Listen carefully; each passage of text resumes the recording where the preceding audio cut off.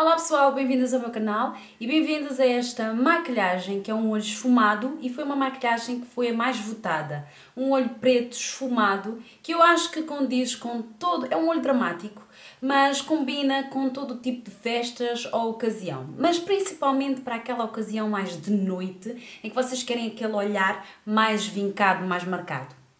Eu sei que eu já tinha feito uma, uma maquilhagem semelhante, só que os passos não tinham nada a ver. Os passos eram bastante simples e era um esfumado bastante simples e se fosse a comparar com este, este esfumado é muito mais carregado que o outro. Uh, é uma maquilhagem sem dúvida de noite. Uh, vocês podem adaptar esta maquilhagem uh, também para o Natal, embora eu acho que fique muito carregado para o Natal. Mas o que é que eu posso sugerir? O que vocês podem fazer é dar um toque de glitter uh, vermelho aqui por baixo deste preto. Em vez de colocarem aqui a parte de preto, uh, colocarem um glitterzinho aqui vermelho uh, que fica muito giro e fica um olho esfumado e fica diferente, fica lindíssimo porque puxa o olhar. Isto se vocês quiserem fazer um olho muito uh, dramático para o vosso Natal. E podem combinar ou com batom nude, que é o que eu até fica melhor, ou então com batom mais vermelho, a condizer com o glitter.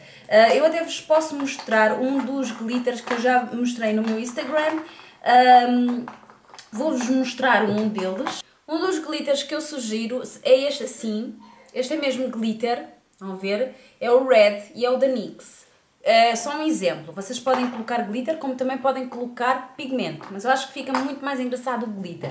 Para a passagem de ano acho que não tocaria na, na maquilhagem, ficaria mesmo assim, porque é uma maquilhagem de, de noite, uh, de, carregava um bocadinho mais se calhar na parte do rosto, se vocês gostassem mais, uh, e iluminação, claro, isso não pode faltar nas maquilhagens para a noite.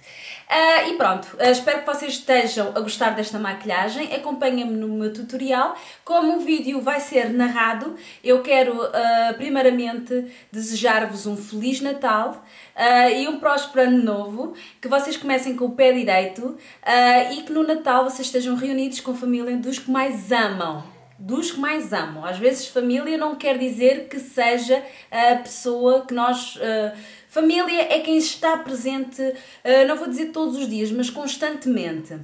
E sim, e acho que se vocês estiverem reunidos com quem vos ama, sim, é o mais importante, é nós estarmos reunidos com os nossos.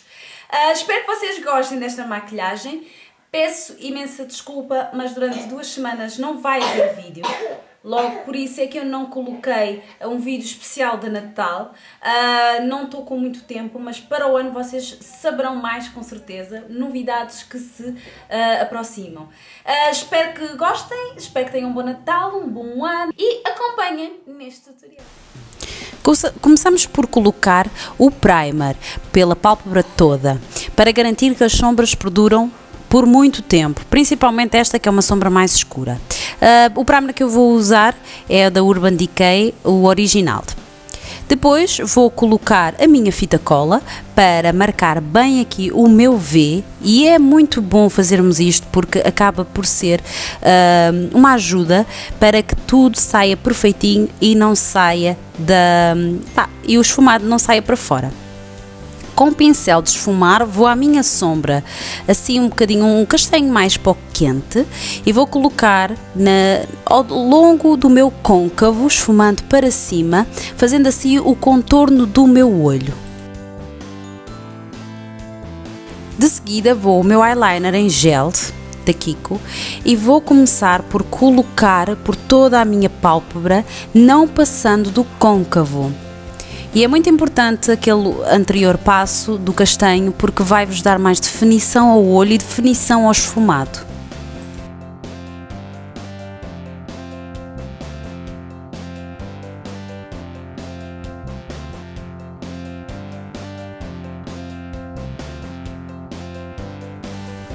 De seguida, com uma sombra opaca eu, e com um pincel assim mais pequenino e, denso, vou colocar por cima do eyeliner em gel para uh, ficar mais pigmentada a cor, mais preto e também para tirar um bocadinho do brilho que o gel possa ter e, e porque garante muito mais assim a sombra. De seguida, de seguida com um pincel de esfumar, vou esfumar as bordas da, da linha que ficou e vou então esfumar aquele preto com aquele castanho para dar um, um ar muito mais natural.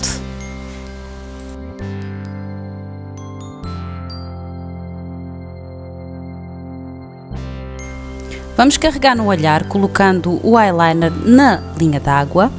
Uh, é muito mais fácil assim, garante muito mais que não sai. Às vezes os lápis tendem na linha d'água a sair e o eyeliner não, perdura por muito mais tempo. Uh, e vamos colocar também um bocadinho fora, assim para dramatizar mais o olhar. Tirando a fita cola, vejam como ficou tudo mais ali direitinho no risco. O V ficou muito mais direitinho. Depois, com o pincel anterior uh, e a sombra preta, opaca, vou então esfumar o traço embaixo e assim ao mesmo tempo também carregar. Máscara de pestanas, vou utilizar a minha da Maybelline, vocês utilizam aquela que vocês gostarem mais, mas principalmente que dê mais volume à vossa pestana. Depois pestanas postiças, as que eu estou a utilizar até são umas novas da Ailo, que é Encanto, Enchanted, acho que é assim que se diz, e depois vou esfumar uh, ainda mais um bocadinho a parte castanha. Está feito o look, está feito o esfumado e eu acho que ficou muito bonito e até é fácil de fazer, com poucas sombras vocês conseguem.